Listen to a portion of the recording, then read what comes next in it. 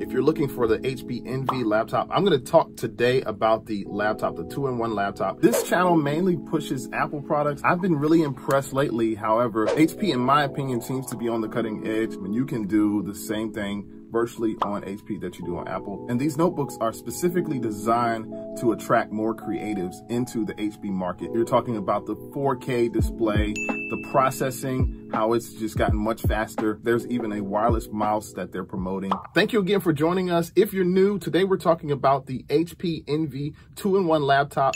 I'm going to get into some of the specs, give you an overview, talk about the hardware, as well as we're going to get into like what the functions are of this Envy how does it fit in your everyday life? If you're a gamer, if you're just typing some documents in Microsoft Word.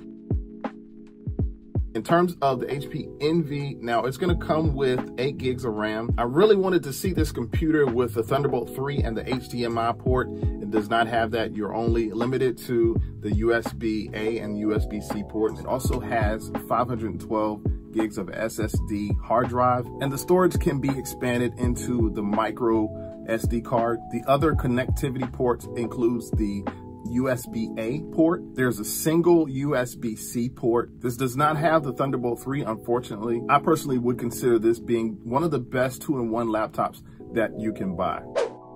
The screen is very bright, so you're not going to have very much of an issue uh, when you're watching this if you're watching something in the dark. However, if you do use this computer outside, you want to watch out because the, the screen becomes very glossy and it's kind of hard to see, especially if you have the sun that's that's like in your face or on the screen. It just becomes very glossy on the screen. One of the really cool features about the Envy laptop is the ability to fold it over. It's sturdy enough where it's not going to break. In fact, it feels very strong. Carrying it around the house, it's going to take some getting used to. Like I said, this is like an oversized, almost like an iPad. I hope that doesn't offend you Windows users who don't like iPads and Apple.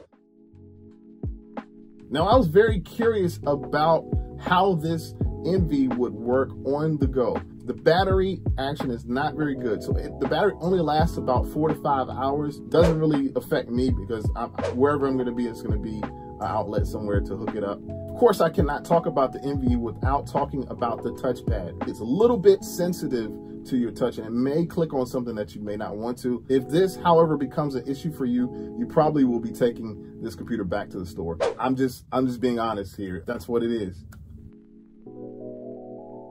For the backlight, if you do happen to experience issues with the backlight, you can press F4 or F5. Depending on what model you have, you can try that. In most computer models, this will allow for the backlight to either be turned on or off. Some you may have to press the function along with F4 and F5 to activate your backlight or to deactivate it. The unfortunate part about this backlight is it only stays on for a few seconds. So you may need to set or reset a timer. You can actually go into your computer's preferences or your system settings and change, it's called the backlight timeout function. This is located in the basic input and output system. I'm gonna attach the information or the directions of how to get to that in the description. So if you wanna stop the video, you can get the directions there on how to reach or how to get to the BO was the BIOS. This is the basic input and output system. If you're indeed curious as to how the HP 360 sizes up to other computers, I'm going to show you a couple of graphs of benchmark tests for all of you computer geeks.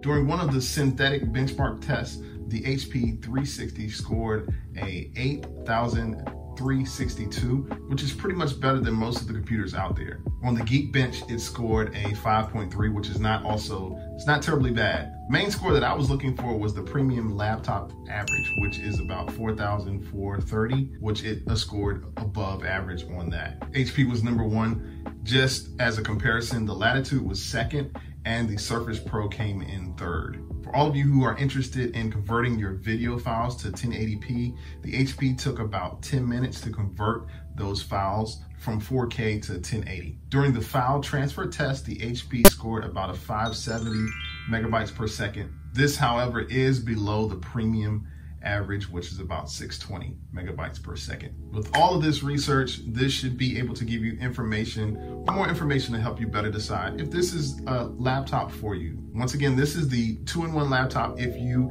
do decide to purchase this. You know what? If you want a comparison of HP products, in other words, if you want to compare this Envy to say the Pavilion, there's a video I have on my channel right now that I reviewed the HP Pavilion. Go check that video out and you can compare these two computers. They both were released probably within the last year, year and a half. If you do decide to get this and you bring it home, there is an HP app called Quick Drop that you can use to transfer your files directly from your phone to this computer. So it's just a quick app that you can use. I thought that was cool. I wanted to share that. This is like a bonus for you guys ready to go ahead and purchase.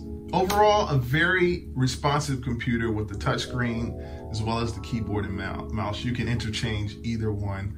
HP, I wonder why you didn't add a stylus pen with this. That would have been great to have as a bonus, but you know, maybe that's for the future. Not sure what HP has coming up.